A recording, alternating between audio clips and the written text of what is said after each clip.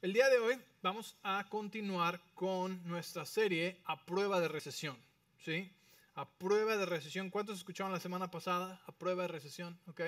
Y, este, y el día de hoy vamos a continuar con la segunda parte. Eh, como les dije, eh, es como en sus marcas listos fuera. ¿Ok? Pero cambiamos el orden de un par de cosas. Eh, sino que más bien primero es listos, que tiene que ver con nuestra mentalidad, porque si no cambiamos nuestra mentalidad primero, va a ser difícil ah, eh, posicionarnos y hacer lo que necesitamos hacer. Y si nada más hacemos cosas sin creerlas, es pura religión. Entonces, por eso la, la semana pasada aprendimos que tenemos permiso de avanzar y de prosperar, aunque el mundo esté tratando solo de sobrevivir. ¿Recuerdan eso? Okay. Aprendimos que nuestra ciudadanía no es de aquí, sino es de, las, de los cielos, ¿verdad? Y somos embajadores de esta tierra, ¿verdad? Y, y que por eso tenemos permiso, porque no somos de este mundo, aunque estamos en este mundo, tenemos permiso de creer diferente, de decir, no voy a participar en esa recesión y de esperar, tener una expectativa de prosperidad. Amén. De protección diferente, ¿verdad? Entonces, eso fue la semana pasada, ¿ok? Y es importante que creamos eso y sepamos eso, de que aunque venga una tormenta en el mundo, ¿sí? Yo voy a vivir de lo que creo en mi corazón. Y cuando vino la tormenta en, la, en medio de la pandemia, muchos fueron sacudidos. Y lo que creían que creían, descubrieron que en verdad no creían.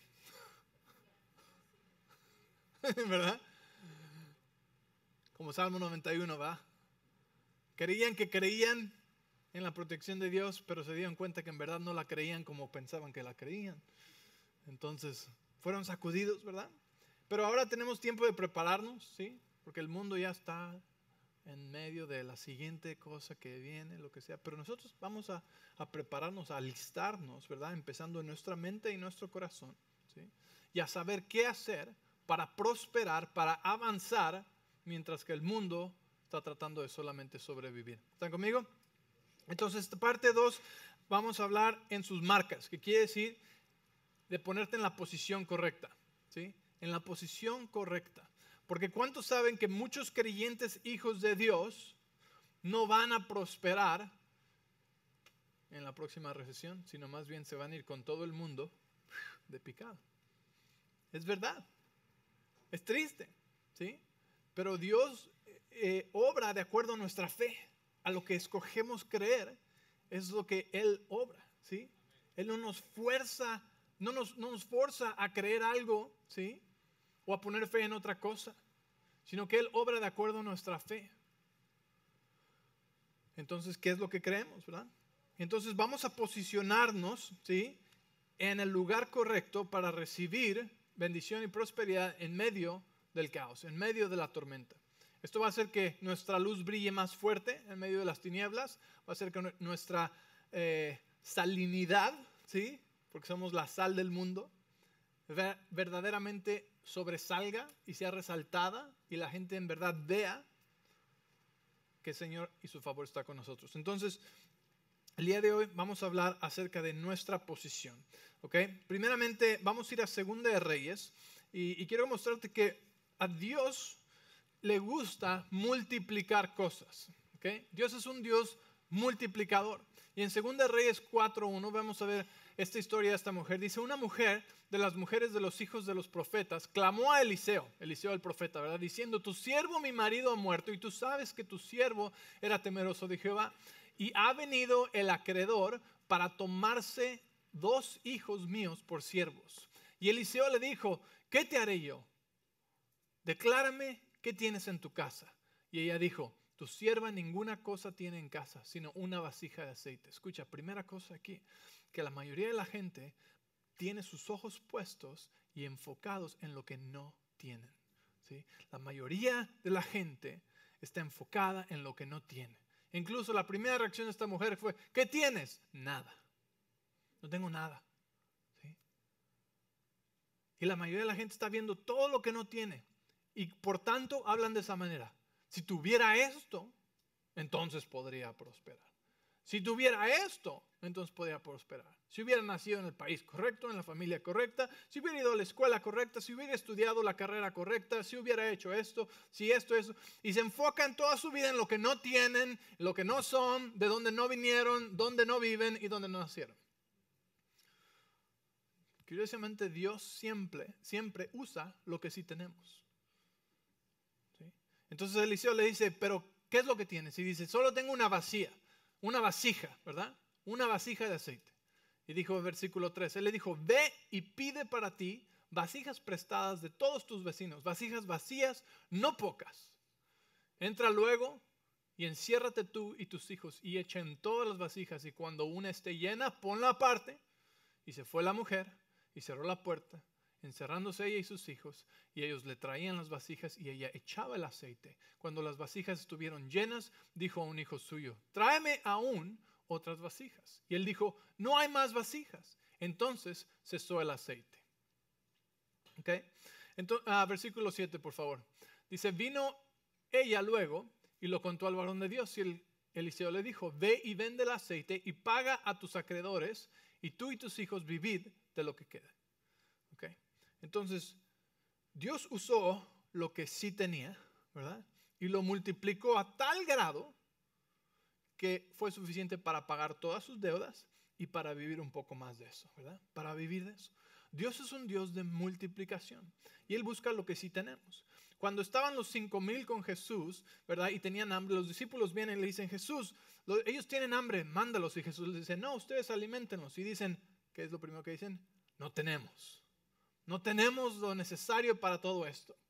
No tenemos. Enfocaron todos en lo que no tenían. Pero uno, Andrés, viene y le dice, hey, tenemos cinco panes y dos peces. Jesús dice, perfecto. ¿Por qué? Porque solo necesita una cosa en tus manos para multiplicarlo.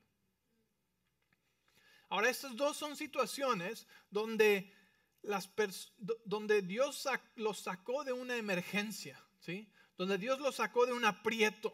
¿sí? Esta mujer ya le habían venido a reposer a los hijos para llevarlos de esclavos, ¿verdad?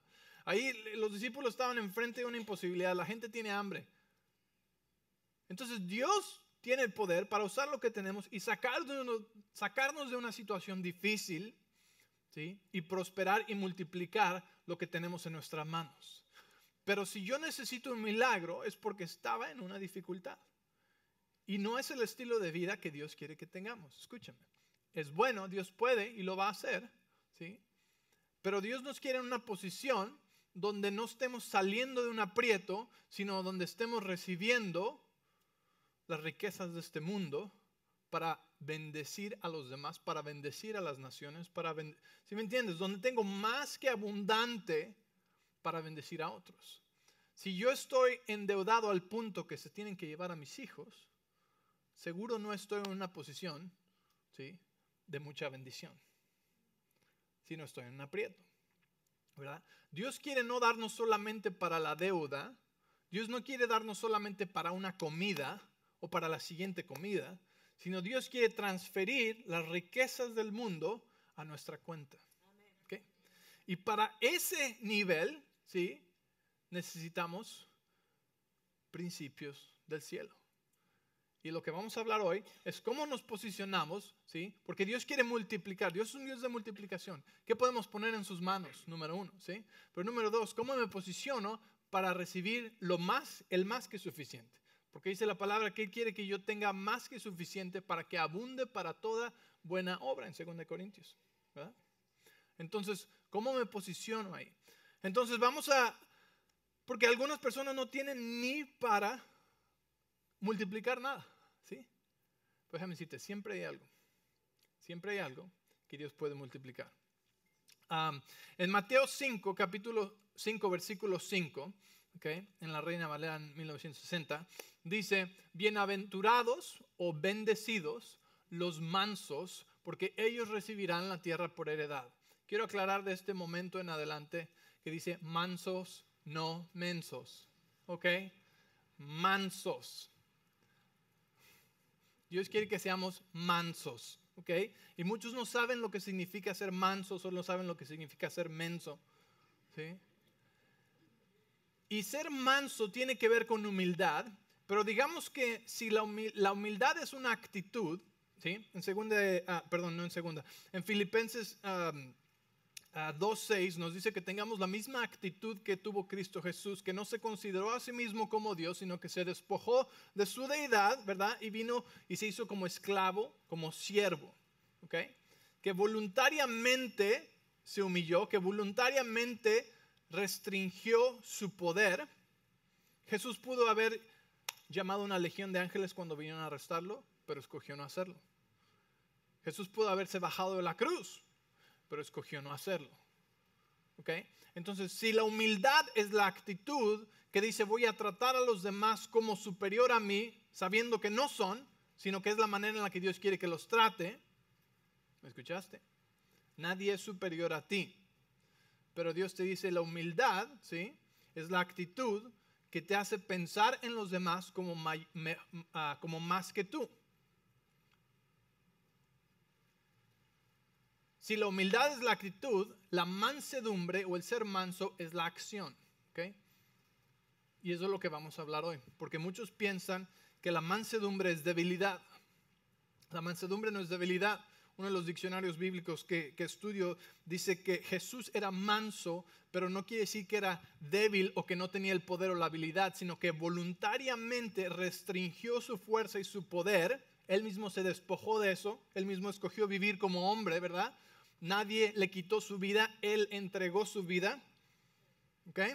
¿Estás viendo lo que estoy describiendo? ¿Sí? Eso es mansedumbre. Cuando yo, ah, pues desde que mi hijo tenía como 3, 4 años, Benjamín, ¿verdad? juego luchitas con él. ¿verdad? Ahorita él todavía me gana, pero ya me estoy fortaleciendo la pierna y le voy a ganar otra vez. ¿verdad? Pero cuando yo jugaba con él, yo no le echaba todas mis fuerzas, ¿verdad? Yo no le echaba yo no me iba a él con, el 100% de mi fuerza. ¿Qué hacía? restringía mi fuerza. ¿sí? Restringía mi fuerza para jugar con mi hijo. ¿sí? Jesús vino a la tierra y restringió su poder y restringió su fuerza porque no vino a enseñarnos lo que Dios podía hacer, vino a enseñarnos lo que tú y yo podemos hacer cuando estamos llenos del poder de Dios y dirigidos por el Espíritu Santo. ¿Okay? Entonces, Jesús restringió su fuerza. Y e, e, esa acción de restringir su fuerza, ¿sí? esa forma de humildad, es mansedumbre. Y en Mateo 5:5 dice, ¿verdad? Bienaventurados o bendecidos los mansos, porque recibirán la tierra por heredad. ¿sí? Entonces, los mansos son, número uno, bendecidos, y número dos, reciben la tierra por heredad. Hay algo acerca de la tierra. Dios nos dio la tierra, ¿verdad? Y, aunque podemos hablarlo en manera figurativa, quiero decirte que también es en manera literal. Dios quiere darnos terrenos y propiedades. Dios quiere que sus hijos sean dueños de la tierra, de las propiedades. ¿A alguien le gusta esa idea? Quiere que recibas la tierra por herencia, su herencia. ¿sí? ¿Están conmigo? Ok. Entonces, estamos hablando acerca de la mansedumbre, ¿sí? Muchas personas no tienen nada que multiplicar porque no tienen mansedumbre. Y te voy a decir qué significa eso. ¿okay? Entonces vamos a hablar acerca de la mansedumbre en diferentes áreas. La mansedumbre en nuestras finanzas, la mansedumbre en nuestro tiempo, la mansedumbre en nuestra familia, en nuestras relaciones y la mansedumbre en nuestra salud, con nuestro cuerpo, con el templo que es del Espíritu Santo. ¿Están listos? Ok, bueno, ahí vamos. Okay. si vienes conmigo al libro de Génesis, capítulo 4, okay, la mansedumbre, si estás tomando notas, la mansedumbre es la acción de la humildad cuando mi esposa y yo nos casamos en el 2005, ah, yo empecé como un, un, agente de, préstamos. Yo hacía préstamos, ¿ok? Hipotecas. Era algo muy popular, era algo que ah, yo nunca había hecho antes. Ah, pero me llamó la atención las finanzas. Eh, no me llamó la atención el estar trabajando en el sol. Y quiero decirles algo, esto es... Cuando me casé fue cuando tuve mi primer trabajo. No me juzguen. Okay. Cuando yo, yo crecí en la Ciudad de México y fuimos a escuelas privadas y no teníamos trabajo, nuestro único trabajo era ir a la escuela y no reprobar. Y apenas. Okay. Cuando yo cumplí 18 años de edad, fui de, viaje de misiones, Hermosillo, como les he contado muchas veces. Y de ahí siguió.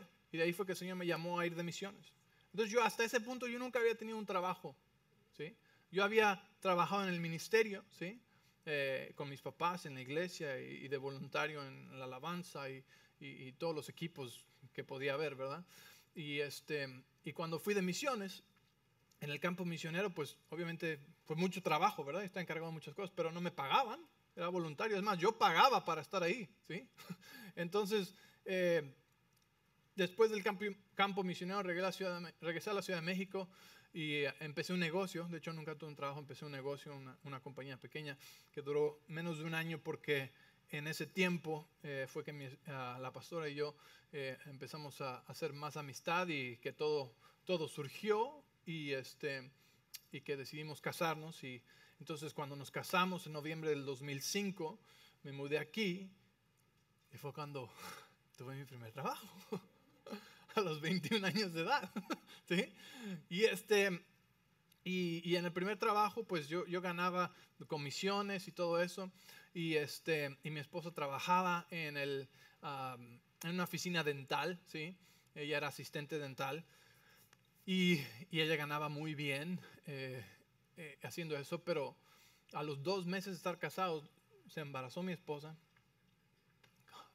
que no sé cómo, pero se embarazó mi esposa. Y este, eh, y pues ya era como una bomba de tiempo porque pues yo no quería que ella tuviera que trabajar con el bebé y poner al bebé en el, en el cuidado, entonces habíamos decidido nosotros que, que pues no, iba, iba a ser todo yo, entonces la presión estaba, ¿verdad? Yo todavía no tenía ni permiso de trabajo, ¿sí? Estaba esperando a que viniera el permiso, vino el permiso de trabajo, ¿sí? Empecé con, um, estaba haciendo otras cosas mientras y, y de repente uh, vino esta oportunidad y una, una, una señora muy, muy amable, Uh, hispana me contrató para ser su procesador de todos los préstamos que ella tenía, muchísimos. Entonces, era como ella y yo. Y, y, me dijo, pues ¿cuánto necesito pagarte? Dije, bueno, dije, dije, pues yo necesito 3.500 dólares al mes de salario garantizado. ¿Sí? Me dice, ok, está bien, 3.500, muy bien. O sea, son como 70 mil pesos. ¿Sí? 3.500 dólares. Primer trabajo, lo más que jamás había ganado yo en mi vida, 3.500 dólares al mes. Bueno, yo estaba, pero, volado. Y en ese tiempo estaban los famosos préstamos que no requerían documentos. wow, ¿algunos de ustedes saben lo que estoy hablando? ¿Sí? El no doc sin documentación. Simplemente si tienes un latido y respiras, te podemos dar un préstamo del tamaño que quieras. ¿sí? Entonces, nos fuimos a comprar la casa más grande. Y quiero decirles que esto fue más mi idea que la de ella. ¿okay? No le puedo realmente echar la culpa a ella, esto fui yo. Y fuimos a comprar la casa más grande, una casa como de 3.800 pies cuadrados, nuevecita, ¿sí? Ah, lejísimos. Todo cuando vivíamos allá por la ciento y tanto avenida. Y este, entonces fuimos a comprar esa casa. Porque yo dije, ¿cuánto va a ser el pago? Y me dijeron, 3.500 dólares. Y dije, perfecto, es lo que gano. Gracias Dios.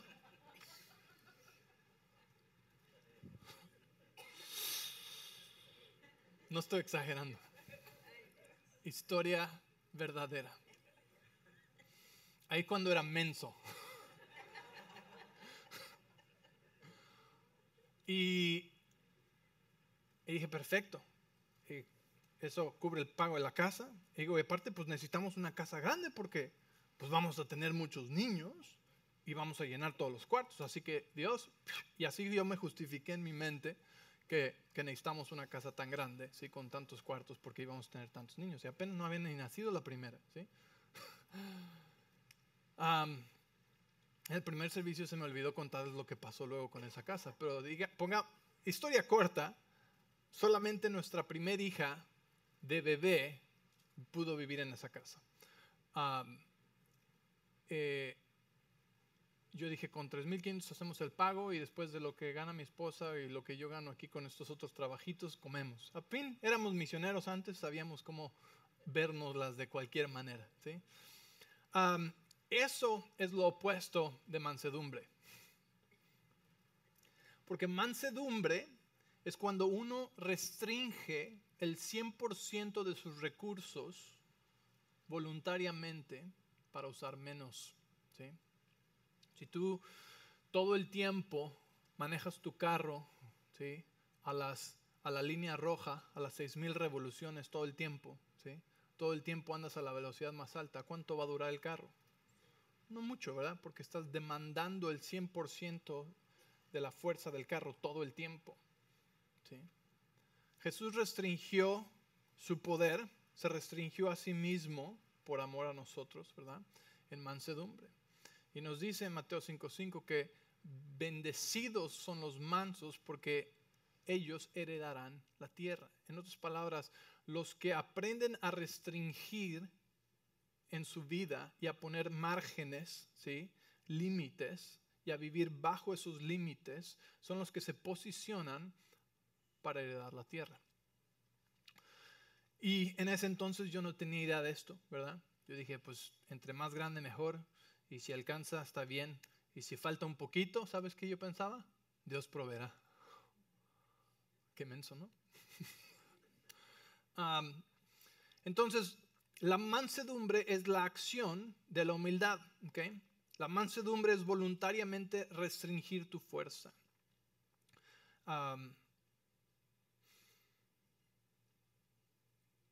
En Génesis, dije que íbamos a ir a Génesis, ¿verdad? Génesis 41, versículo 31, vamos a, leer un ejemplo donde José fue usado y Dios le dio un plan de mansedumbre que los posicionó para recibir toda la tierra por heredad. Mira esto, dice, la hambruna ¿sí? será tan grave que borrará hasta el recuerdo de los años buenos. Esto si tú recuerdas, José el soñador estaba en, el calabozo, ¿verdad? En la cárcel, y el faraón lo trajo para que interpretara el sueño, y vino a interpretar el sueño del faraón.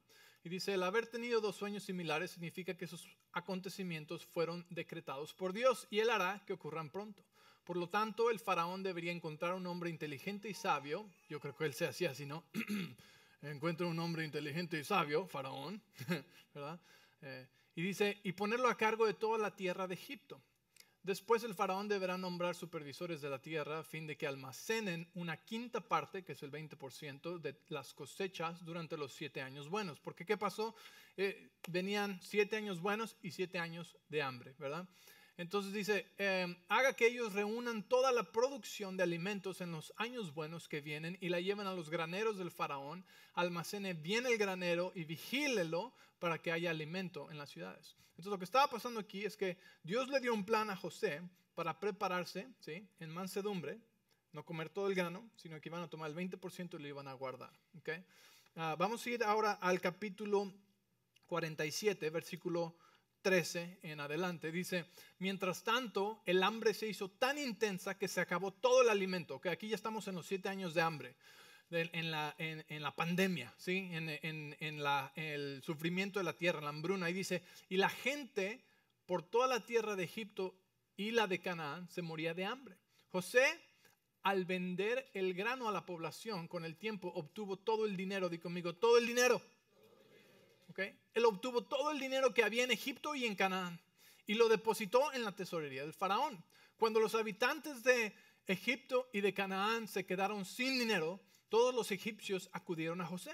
Ya no tenemos dinero, clamaron. Por favor, denos alimento o moriremos ante sus propios ojos. José respondió, ya que no tienen dinero, dice, tráigame sus ovejas perdón, tráigame sus animales, yo les daré alimentos a cambio de sus animales. Entonces llevaron animales a José a cambio de alimentos, a cambio de sus caballos, sus rebaños de ovejas, sus cabras, manadas de ganado y burros. José les proveyó alimento para un año más.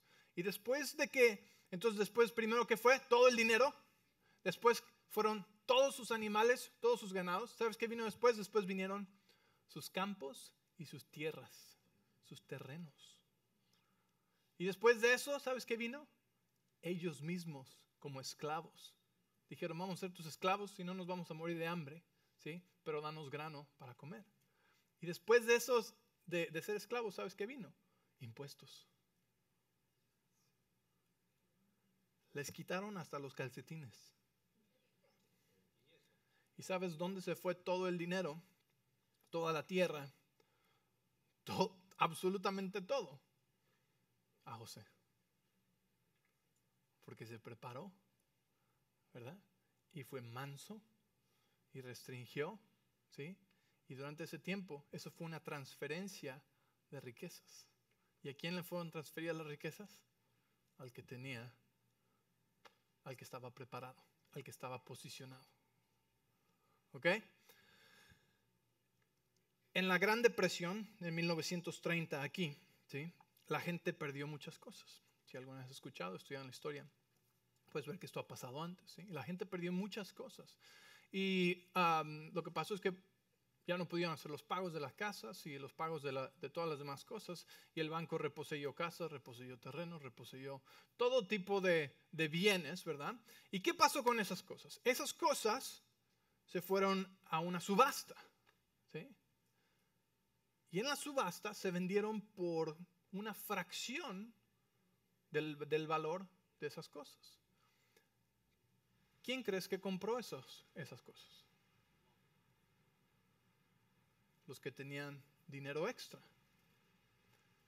¿Y cómo le llamamos a los que se han restringido y tienen extra? ¿Los qué? Los mansos. en toda recesión, en toda depresión, en toda crisis, mientras que la mayoría, y cuando digo la mayoría estoy hablando como el 96% de la gente, mientras que la mayoría está perdiendo todo, hay un porcentaje como del 4% que está siendo extravagantemente enriquecido. Y tiene que ver mucho con el hecho de que se han posicionado y preparado para este momento. Y cuando estos momentos vienen, ven las oportunidades, reciben las oportunidades y heredan la tierra. Reciben la tierra por heredad. Pero tiene que ver con mansedumbre. La mansedumbre me posiciona para recibir las promesas. La mansedumbre me posiciona para heredar la, heredar la tierra y prosperar en paz sin sufrimiento. ¿sí? ¿Están conmigo? Están medio serios, pero... ¿Sí? Entonces, eh, en, eh, en, Proverbios 13, 22, ¿sí? Proverbios 13, 22 dice, la gente buena deja una herencia a sus nietos, ¿sí? O a los hijos de sus hijos, o para dos generaciones. Después dice, pero la riqueza de los pecadores pasa a manos de los justos. Ahora yo veía esta escritura y yo siempre decía, Señor, ¿dónde están esos pecadores? ¿Dónde están esos pecadores? Porque yo aquí estoy listo para recibir esa riqueza.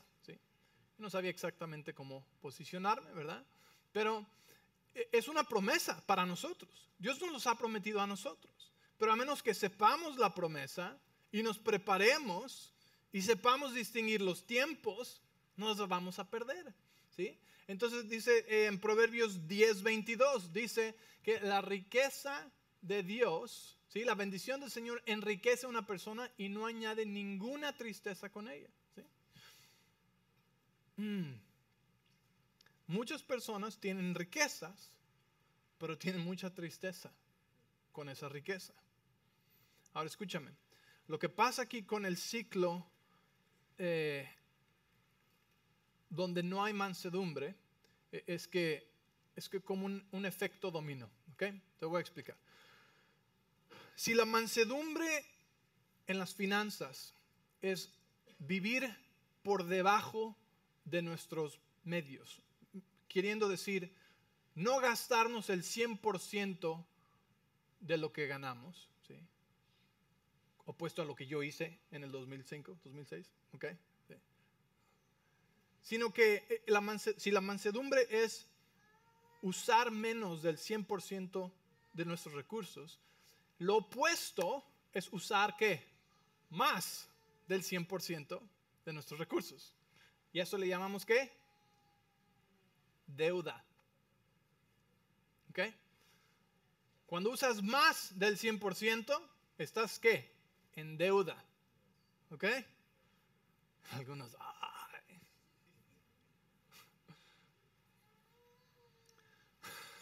A nadie le gusta esto, yo lo sé.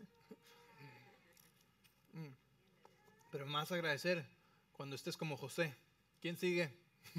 ¿Qué necesitan? ¿Quién sigue? ¿Sí? Entonces, lo que pasa cuando vivimos más allá de nuestros recursos es que estamos en deuda, es lo opuesto. ¿okay? Ahora, si en tus finanzas, digamos que es lo primero aquí, si en tus finanzas vives por encima de tus medios y ahora tienes deudas, ¿sí?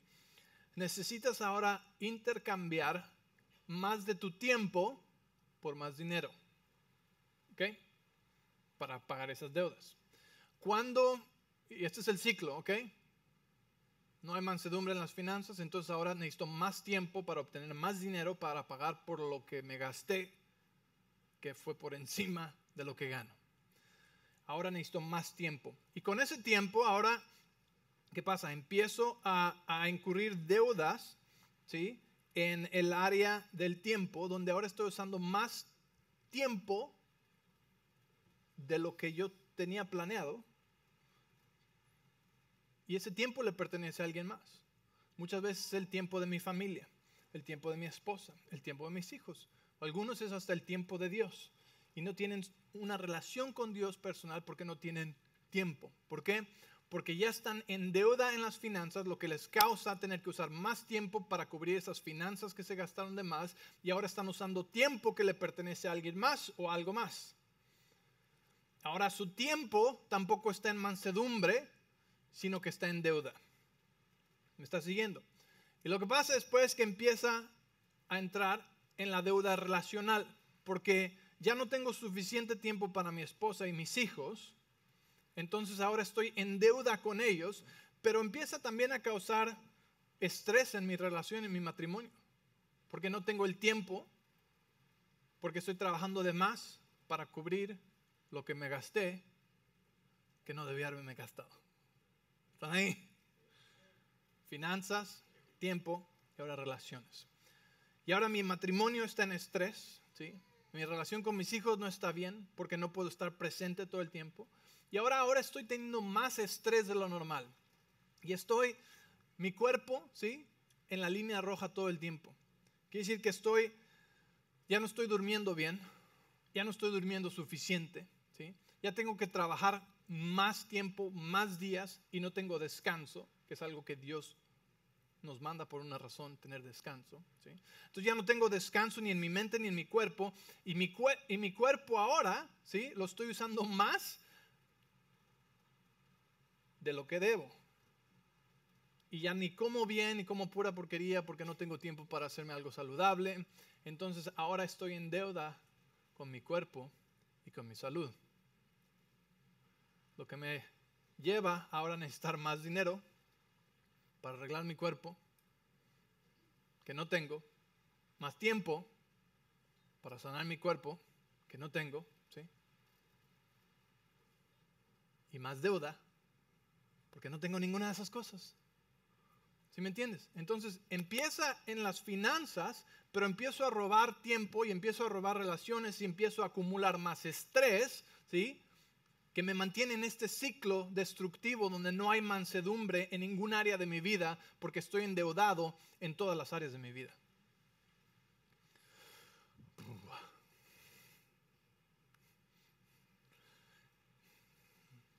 Y mucha gente vive Así, siempre viven, ¿sí? Y por eso luego sus cuerpos ya no aguantan, ¿sí? Porque los han maltratado, no les han dado lo que necesitan. Y, ya no viven en bendición. ¿sí? Benditos los mansos, los que usan menos finanzas, recursos, tiempo que el 100% que les es dado. Porque ellos están posicionados para heredar la tierra. ¿sí? Y la bendición de Dios enriquece y no añade qué? Toda esta tristeza, todo este dolor, todo este estrés. ¿Estás conmigo? Ah, ok, ¿a quién se le prendió el foco? Pueden ver esto, ¿ok? Podemos ver esto. entonces necesitamos aprender que la mansedumbre ¿sí? en nuestras finanzas nos va a ayudar a ser mansos en nuestro tiempo, a ser mansos en nuestras relaciones, a ser mansos con nuestro cuerpo, en nuestra salud, ¿sí? y a mantenernos en posición para recibir una gran transferencia de bendición, una heredad, de tierra, ¿sí? de terrenos, de finanzas. Entonces nos estamos preparando porque ahí viene, el mundo nos está diciendo, vienen tiempos difíciles, ¿cómo voy a prepararme yo? ¿Okay? La mansedumbre, di conmigo, la mansedumbre me posiciona para heredar la tierra y prosperar en paz sin sufrimiento. Ahí está arriba, dilo conmigo fuerte. La mansedumbre me posiciona para heredar la tierra y prosperar en paz sin sufrimiento. ¿Ok? Ok, ok. Vamos a terminar. Vamos a terminar. Entonces, lo opuesto de la mansedumbre es que la deuda, ¿verdad? Y que no estoy en bendición.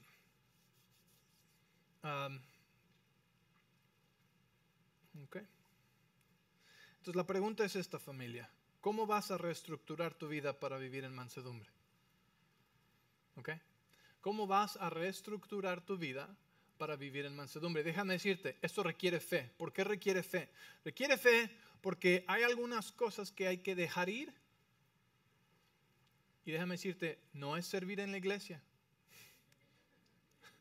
Porque si tienes que dejar de servir en la iglesia para ganar una hora a la semana, Déjame decirte, estás comenzando en el lugar equivocado. ¿Sí? Empieza con tus dos horas de Facebook al día y tus tres horas de Netflix al día. ¿Ok?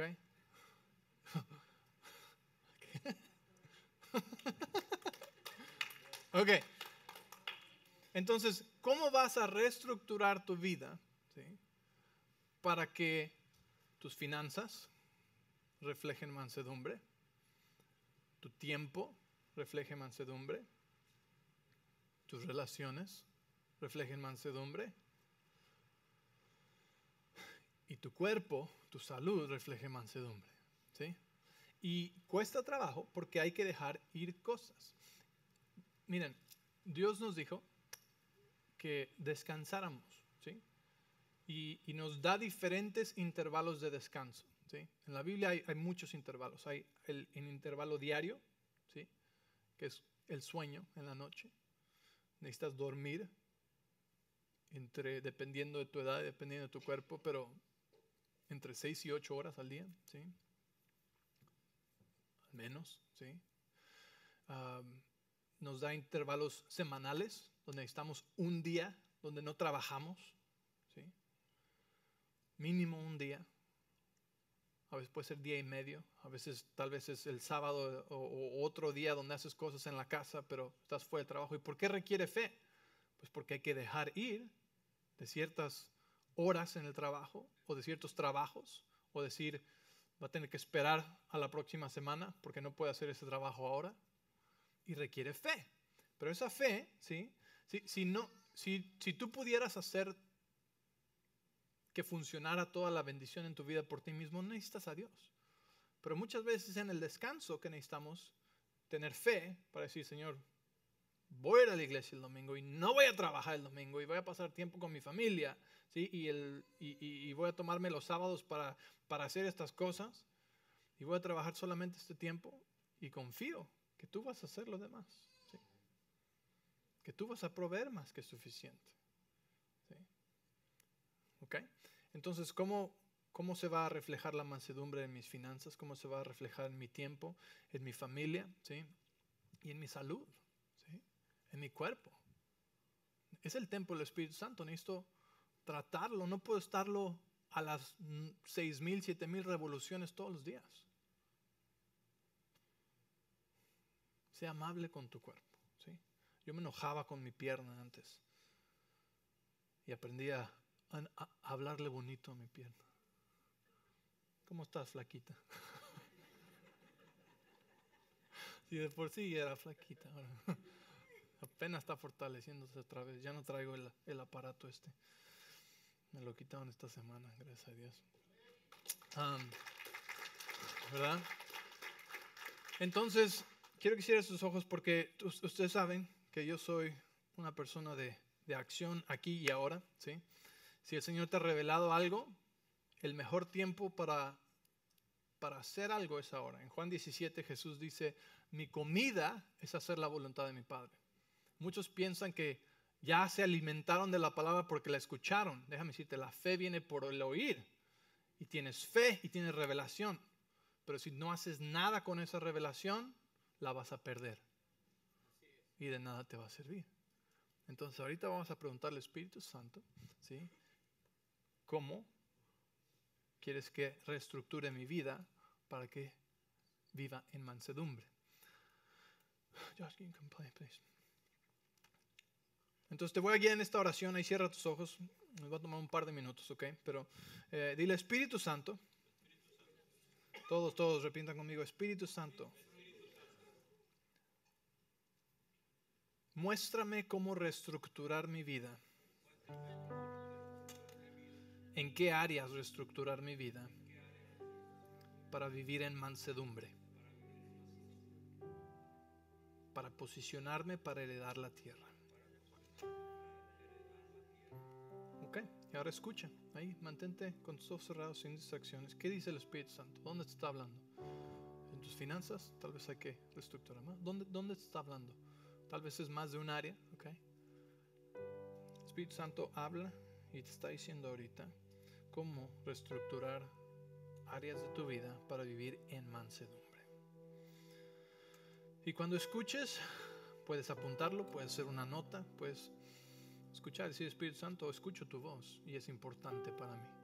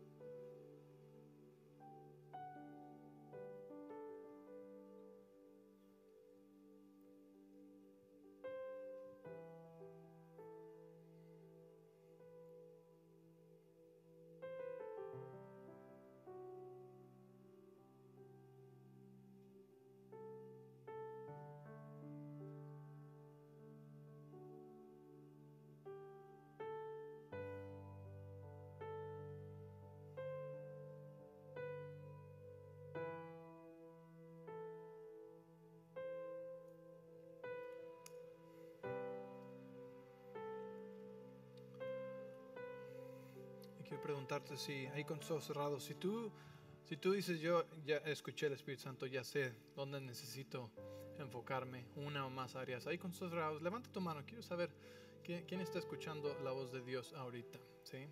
Una, dos, tres, cuatro, cinco, okay.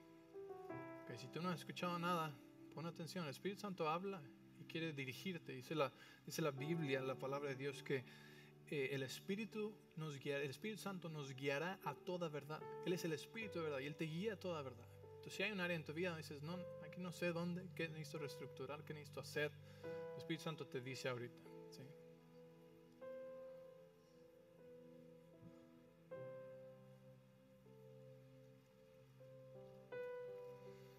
Si Dios le dio un plan a José, posicionarse de esa manera en mansedumbre, Dios te da un plan a ti también. ¿sí? Para que dejes de vivir en deuda con tus finanzas, en deuda con tu familia, en deuda con tu tiempo, en deuda con tu cuerpo físico. Mm. Ok, vamos a ponernos de pie. ¿sí? Ahora queda en ti el empezar a hacer ajustes. ¿sí? Y, y vamos a hacer una declaración todos juntos basada aquí en, en, ah, en um, Proverbios 13, 22, Salmo 37, 11, Mateo 5, 5, Proverbios 10, 22 y lo que aprendimos hoy. ¿ok? Entonces vamos a declarar esto un par de veces. Di conmigo. um, la riqueza del pecador está apartada para mí y a través de mansedumbre heredaré la tierra con paz, sin tristeza, sin, e- sin estrés. La mansedumbre me posiciona para heredar la tierra en paz y sin tristeza. Una vez más, y la mansedumbre me posiciona para heredar la tierra en paz y sin sufrimiento. Amén. Padre, te damos gracias, Señor, por tu palabra, Señor. Gracias porque nos estás hablando, porque estás posicionándonos eh, en el lugar correcto, poniéndonos en, en- en nuestras marcas, Señor, alistándonos, Señor. Te damos gracias, Señor, que creemos en nuestro corazón que cuando el mundo eh, se va para abajo, cuando el mundo está tratando de sobrevivir, nosotros vamos a prosperar y vamos a poder ser luz para ellos, vamos a poder ser bendición, ¿sí? A otras personas, Señor. Gracias. Así que lo vemos ya en nuestro corazón y te damos gracias, Señor. Que en tu gracia esto no es difícil, en tu gracia esto no nos va a costar nuestras familias, no nos va a costar nuestras finanzas, no nos va a costar nuestra salud. Te damos gracias en este día, Señor. En el nombre de Jesús. Amén.